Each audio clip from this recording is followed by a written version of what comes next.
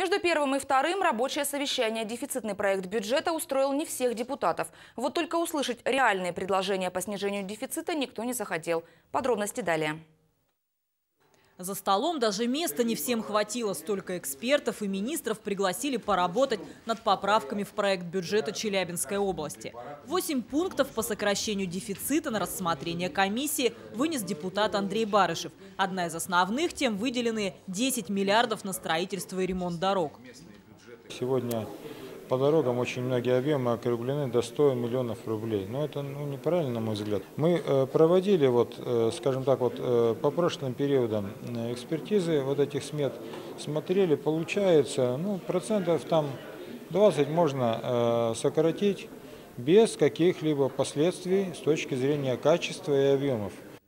Выслушали, но вот услышать не захотели, а потому и проголосовали против. Видимо, выгодно, чтобы сметы на строительство дорог были округлены и непрозрачны.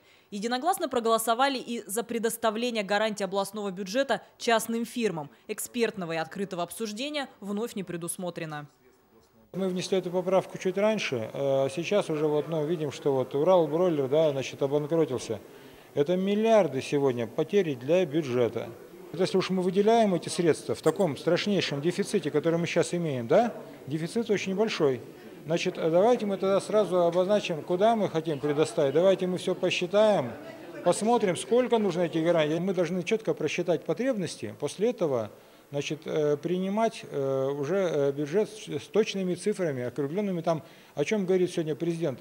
Качество, что было принятие, значит, ну вот стопроцентным, чтобы каждый рубль работал эффективно. Ну, здесь о какой эффективности может идти речь, если там до сотен миллионов округлено? 19 декабря проект бюджета будет принят сразу во втором и третьем чтении. Депутаты отправятся на новогодние каникулы. Служба информации СТС Челябинск. Кстати, к вопросу о госгарантиях агентство «Уралпресс-Информ» сообщает о новой волне банкротств компании Колесникова. Им как раз выдавались кредиты под гарантии регионального правительства. Общая сумма порядка 8 миллиардов рублей. Сейчас вслед за торговым домом несостоятельным может быть признан ЗАО «Уралбройлер». Интерес, интересно, что, судя по объяснениям руководства агрохолдинга, в их проблемах есть один главный виновник – федеральный центр, не выплативший всех денег, на которые эта компания рассчитывала. А какой в самом деле бизнес без бюджетных миллиардов. Это, конечно, чистая демагогия, но суть дела ясна. Финансовая пирамида господ Колесникова и Юревича, опирающаяся на бюджеты разных уровней, с треском посыпалась, комментирует ситуацию Александр Подопригора. При этом политолог обращает внимание на странные процессы, которые идут в сети аптек «Классика», а их порядка 160, самого доходного коммерческого актива семейства Колесниковых. А происходит там тихая, но быстрая смена юридических лиц и собственников при сохранении тех же вывесок и даже директоров. ООО «Аптека Классика ЧЛ», «Аптека Классика ЕК», например, по информации подопригоры, зарегистрированы на дочь Читы Колесниковых Александру. Для чего это делается? Дело в том, что классика является поручителем по многочисленным кредитным обязательствам империи Колесникова. И вот теперь, чтобы вслед за Уралбройлером не потерять самое ценное, аптечную сеть, ее активно выводят из-под удара кредиторов. Подопригора называет это классической махинацией, которая будет стоить огромных денег кредиторам Колесникова и остатков инвестиционной репутации Челябинской области.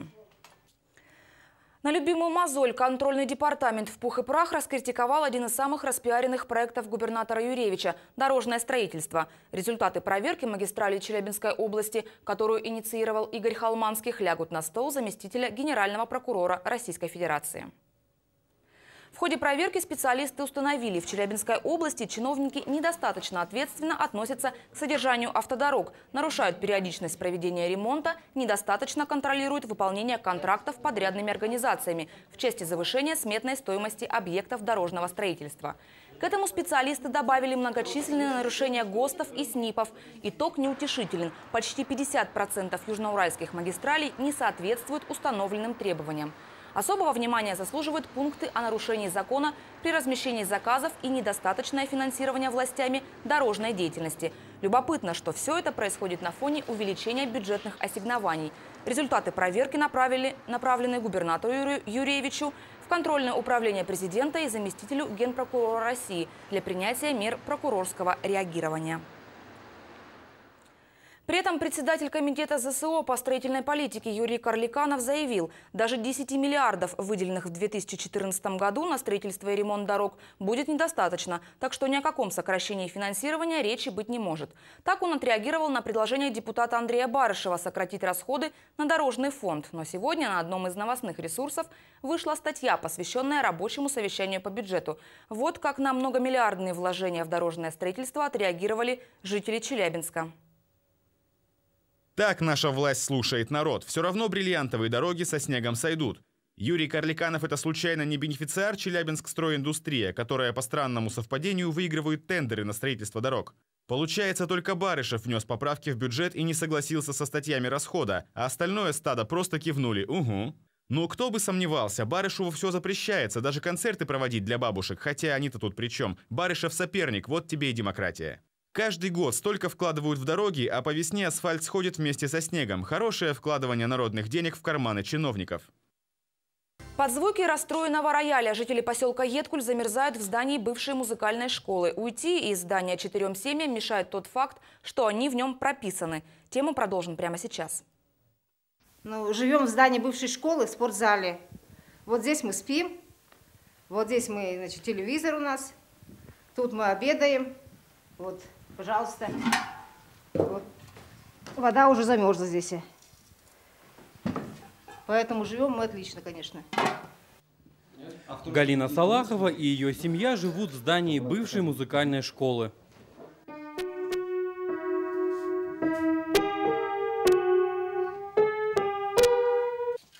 Вместе с Салаховыми коммунальные комнаты в этом здании получили еще три едкульские семьи.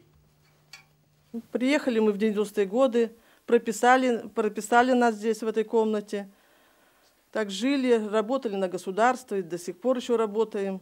Вот через 20 лет мы узнаем, что нас хотят выселять, и кому-то понадобилась эта земля. Екатерина Акулич буквально живет в коморке, что за актовым залом. Говорит, чтобы выселить их отсюда, власти, невзирая на морозы, пошли на самые крайние меры.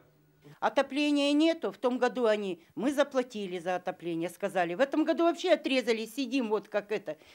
Колонка была, колонку разобрали, мы ее утепляли, сами утепляли, коробку заутеплили, шланги меняли там что, обрезали. Вчера смотрю, трактор идет, ну пусть приезжает трактор, закапывает нас.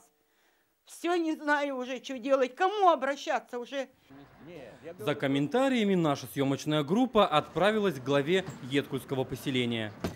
Здравствуйте. СТС канала, где ваш глава? На парадном совещании. А это где? В Челябинске. Она скажет, что он здесь.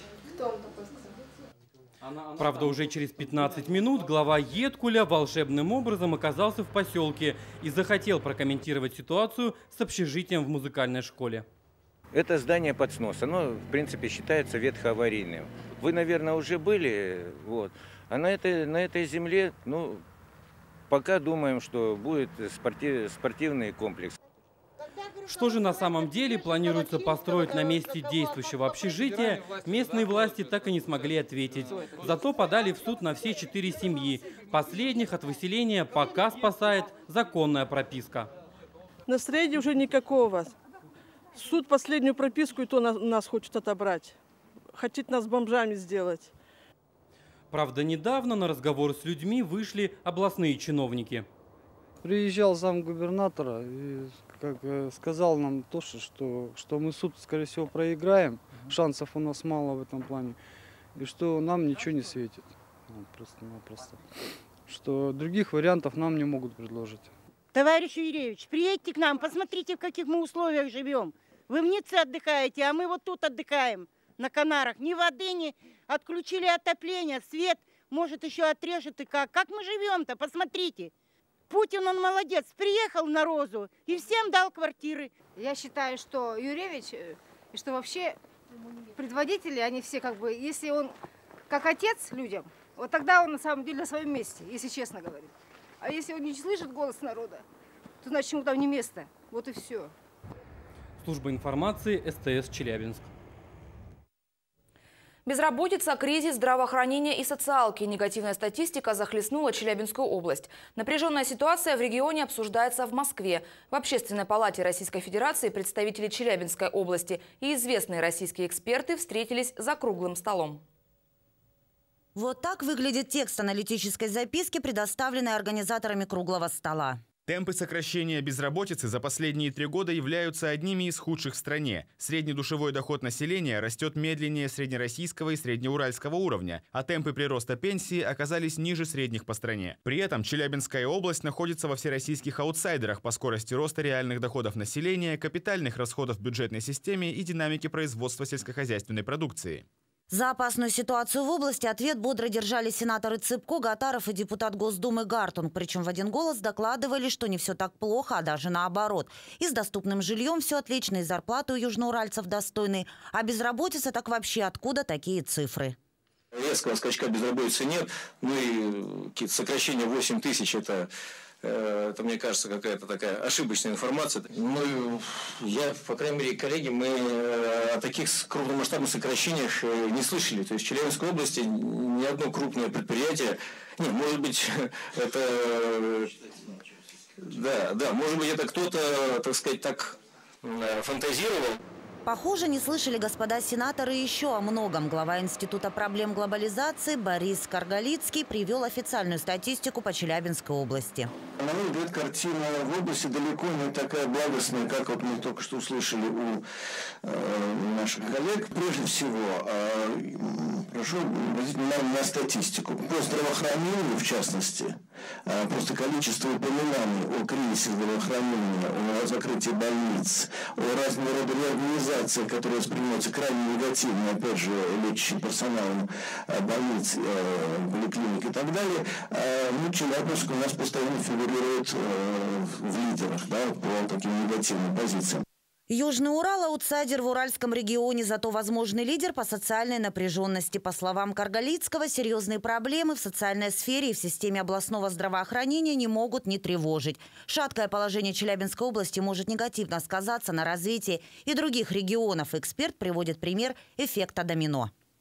Положение других крупных регионов и так шатко. Существует опасность, что один город или даже одна компания может запустить этот принцип домино. В этом смысле Челябинск как раз очень тревожный город.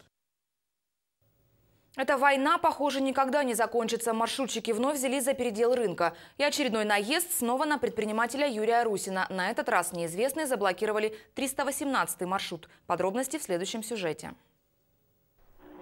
Легковушка Пазик, легковушка Пазик. Такую картину можно было наблюдать сегодня утром на автоцентре. Машины в буквальном смысле слова взяли в плен автобусы. Путь преградили 318 маршруту.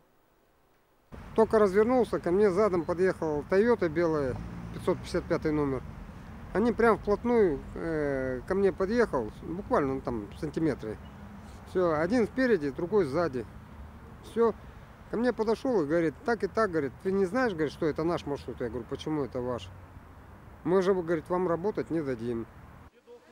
В итоге свой рабочий день водители провели не развозя пассажиров, а давая показания в отделении полиции. Маршрут автоцентр поселок Старокамышинск появился около шести лет назад. Рейс, соединяющий два города, с самого начала обкатывали пазики казачьего двора. Владелец ООО Юрий Русин установил правило – проезд 15 рублей. Предприниматель считает, перевозчика с демократичными ценами решили выдавить с рынка.